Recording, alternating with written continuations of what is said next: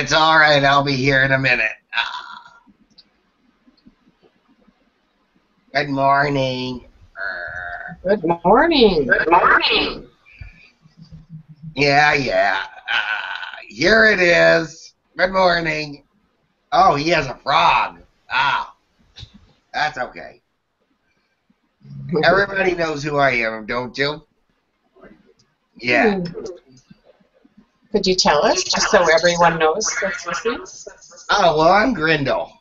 I'm your friendly Zespotd reptilian. So, therefore, hello. Hello, nice to meet you, Grindal. And nice to meet you, too. I thought most people knew who I was, but maybe not everybody. I just wanted to stop by and say hello. I haven't been here for a while. Well, you haven't. You haven't seen me for a long time. Do you have any No, I- messages? Did you have any messages for our group this morning?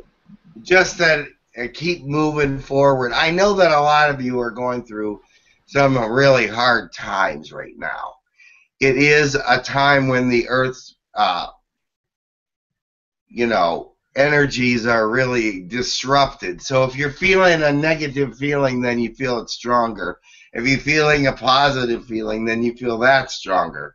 However, most of you have been going through some third dimensional agonies lately, and I just want to say that that will end very shortly. The the powers have been moving down. The energies have been evening out a little more. There's a few spots that are still pretty energetic, but most places are getting better. So, if you have any questions for me, Well, that's great news with the energy. I know we've all been looking for answers there. yeah. Does anyone have a question this morning? Ah, yeah. Yeah, I have a question. Go Dan. Yeah, Dan, Hello. how are you? Good morning, Grindal. Uh, much has been going on. Thanks for uh, visiting the other day. Will you be around uh, around more here uh, the next Yeah, little I'm gonna be around a little more. I was sort of busy for a while. Yeah, has that all sorted out? Yeah, it's all sorted out now, pretty much. Otherwise, I'd still not be here. Okay, so you'll be available for the next few weeks, or do you have a time frame? Eh, who knows? I could be here for three minutes or three days or three weeks. It doesn't. You never know. Okay, well, I have a feeling uh, people will be asking for you. So if you have an opportunity to leave your energy around, please do that. Yeah, they've. I've already talked to a couple people this week. Yes. So that's Yeah, we saw one of them just the other day, so that was awesome. yeah. All right. I just wanted to say hey.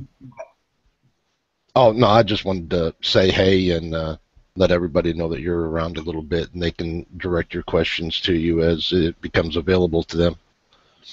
All right. Really Yeah, good. If anybody Okay. else has a question, How about anybody in the room there with you, Grindal? Can we ask? Yeah. Anyway. Uh, no, nobody has a question. I guess I'm not loved. Oh, we love you so much. I'll we appreciate you coming and bringing your energy in the room today. It's wonderful. I'm. I'll make way for someone else because I Ah, know. Will has a question if you don't mind sticking around for just a minute. No, I'm all right. Okay, Will. Good morning, Grindal. How are you? Good morning, Will.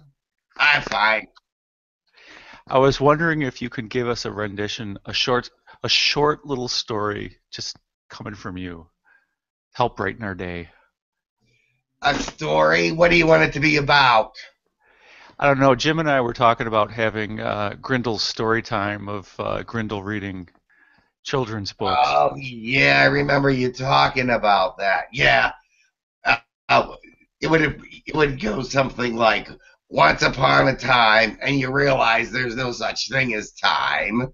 There was a young girl. Well, she wasn't so young. She was sort of middle-aged. But she was on her way to her grandmother's house because probably she passed or something.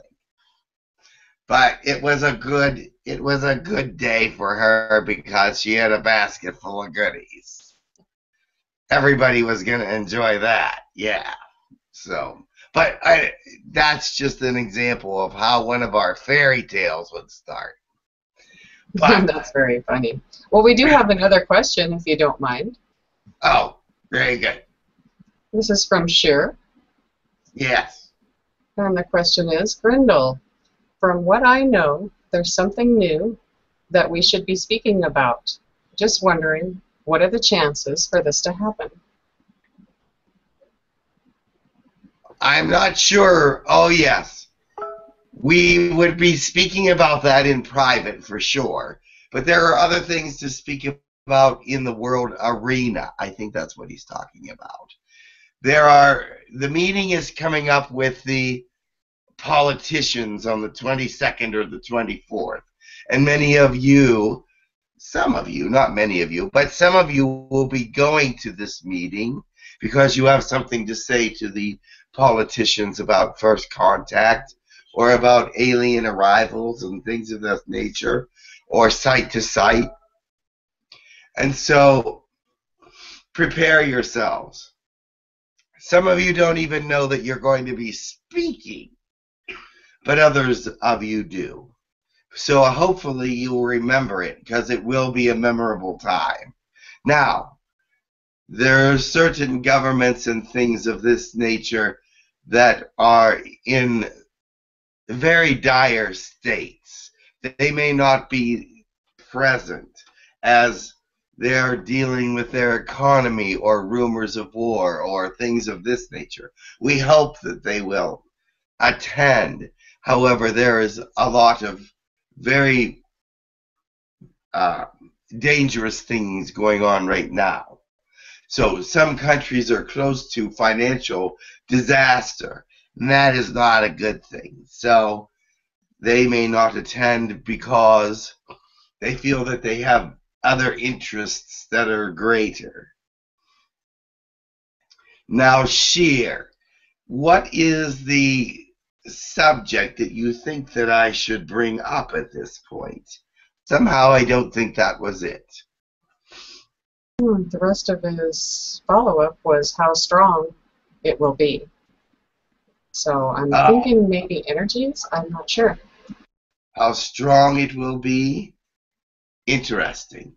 I don't know if I know what he's talking about. I might know, but uh, right now it's not. It's bouncing off the old brain cavity. I can't figure out what he's talking about, but that's all right. What needs to be said will be said. So that is all that's important. Okay, and Amy, would you like to say something? Yes, um, I, I just wanted to take the opportunity to introduce myself. Grindal, we've never met before. But Hello, Amy. Amy, and I just wanted to say hello. And it was it's nice meeting you. It's nice meeting you as well. Do you have any questions? Um, uh, just personal questions. That's probably not. I see. Understood. But it was very nice meeting you. It's a nice group today. Yes, it's nice meeting you too. I've heard a lot about you, so I wanted to say hello. and blessings. Blessings to you as well. Well, You thank realize now that there are other other of my kind that are going to start to channel because they see that it's a lot of fun for one thing, and they see that they can bring in their messages for another thing. So it is a very big possibility that you'll be seeing more Zespotd reptilians channeling through humans.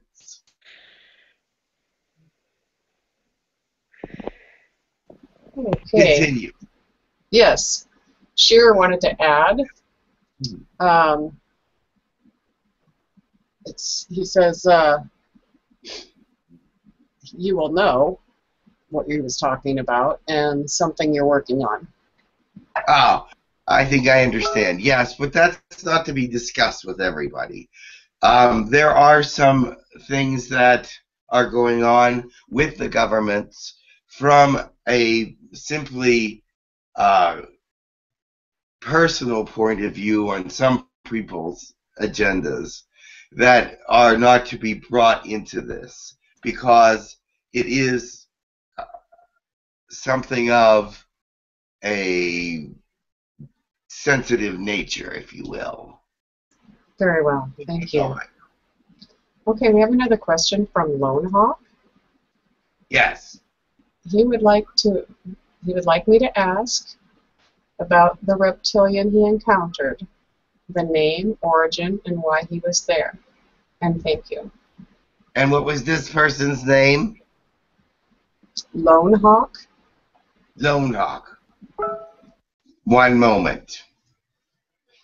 I do not think he was someone from my reptilian race, but he was a Zeta, no, a Zeta reptilian, yes, and he was looking for some answers to some questions about who Lone Hawk was, because Lone Hawk has a negative, not a negative, uh, big side, but there is something negative going on right now that this particular reptilian was interested in.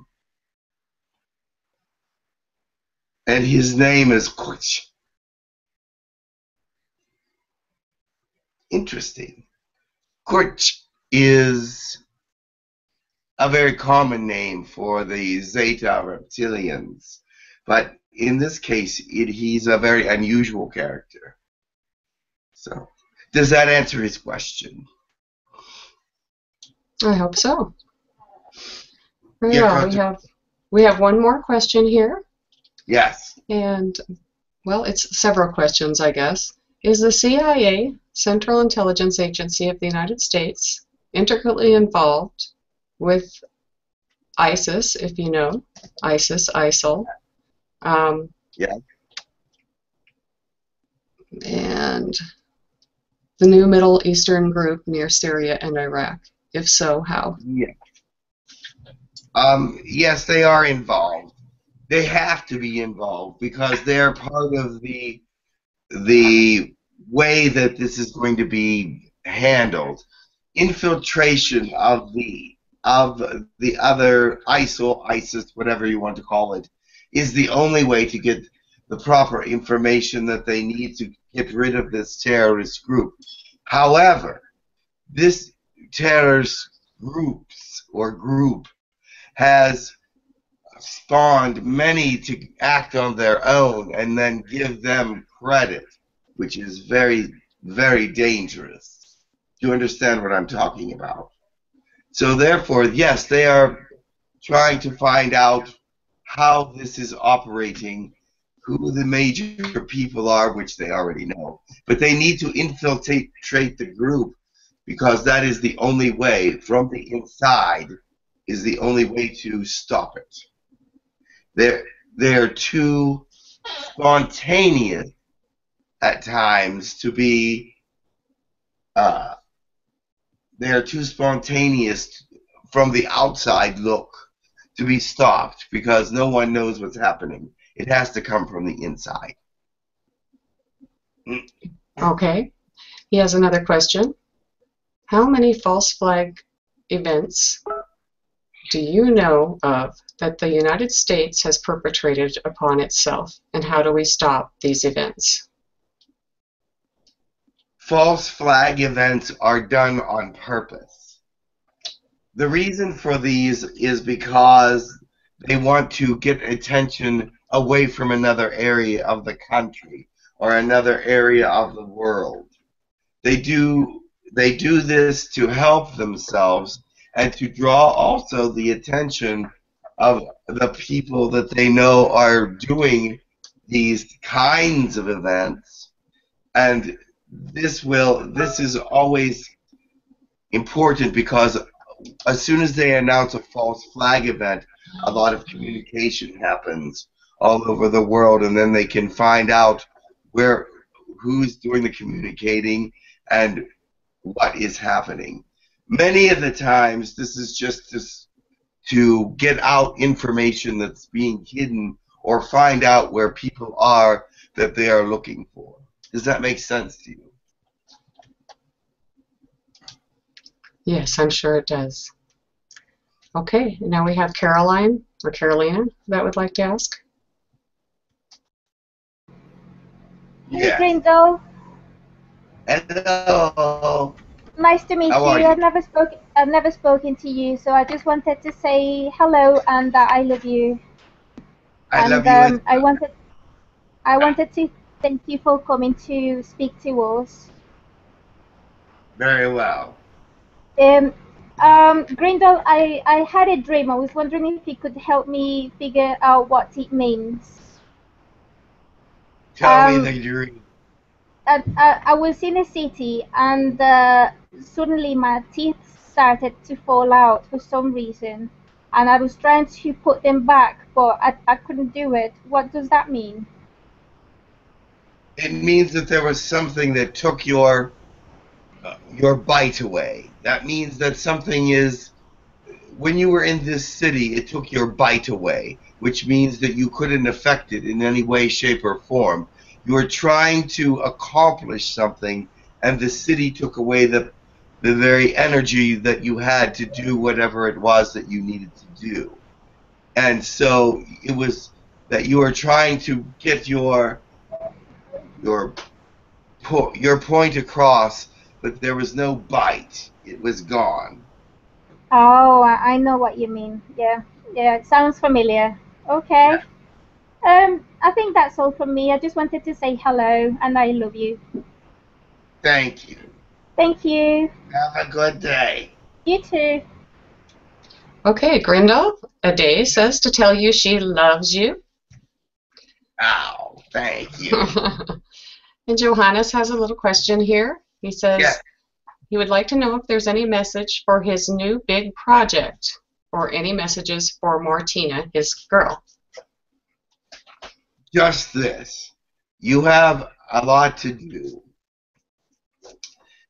It's the preparation is very important. Do not rush the project. Make sure that you have everything in order before you move to the next step. And Martina is a very big support and is a very big part of it in some ways. So make sure you're working together and your thought processes come together as one. I see success, but it's not easy. Do not think that it will be easy. I know what you're doing, and I, I'd say many blessings to you. Thank you. Wonderful. Okay. And now from Juggertron, he says, Hi, Grindal. Much love to you. Ah, thank you. Can you please provide information on the energy that buzzed me, visited me last night shortly as I was going to sleep? It held me in a nice, lovely trance for 15 seconds or so. I don't think it was my astral body leaving, but I'm not sure. No, it wasn't your astral body leaving, right? I see that that was a visitation. The visitation was of an angelic sort. There was something that wanted to comfort you and calm you at that moment. And because you are, there was some upheaval, or I'm not sure if it was an upheaval, but there was some tension or some anger or something. And they just wanted to let you know that everything is all right. It was a visitation, but it was not your astral body leaving. They were just letting you know that all things are good right now. There might be something on your mind or something. I'm not sure what it is that they were trying to talk to you about, but it was definitely to comfort you. Oh, that's great news. Okay, this one's from Freddie Colt. Colt. What infusions can I get to improve my connection to my solar plexus chakra and to open it more? Thank you. Interesting. There are a couple different infusions that would help that. Lyran would be one of them. Lyran because uh, they are very uh, they are very grounded and they are very uh, they cause some bodily toning as well, but they're uh, it is a good place to start at Lyran and the Fandorian. Fendorian and Arcturian both deal with chakra colors and chakra movement. So the Fendorian especially brightens all the chakras and works with all the different chakras. So Fendorian would be the first choice. It also ignites the Kundalini, which is rather fun and also rather intense because it awakens all the body appetites and the body senses and feelings and emotions. So the Kundalini with the Fendorian is very, very good for opening and giving brightness to all the chakras. Arcturian does work with the chakras as well, not quite as intensely. But I mentioned the Lyran first because their yellow chakra, which is the solar plexus chakra, is always bright. It's very, very rare that you find a Lyran that does not have a, a bright solar plexus chakra. So that was a thought that I had right away. All right. Well, that concludes the questioning that we have for you today, and um, we appreciate your time, Brenda. Would you like to give I will bring someone Jim a else. break? bring Jim back in and give him a drink? Ah, we're okay. One minute though. Thank you, Brenda. You're welcome. Hold on.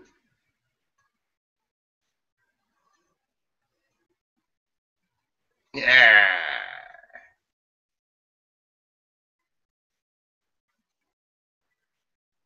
Yeah.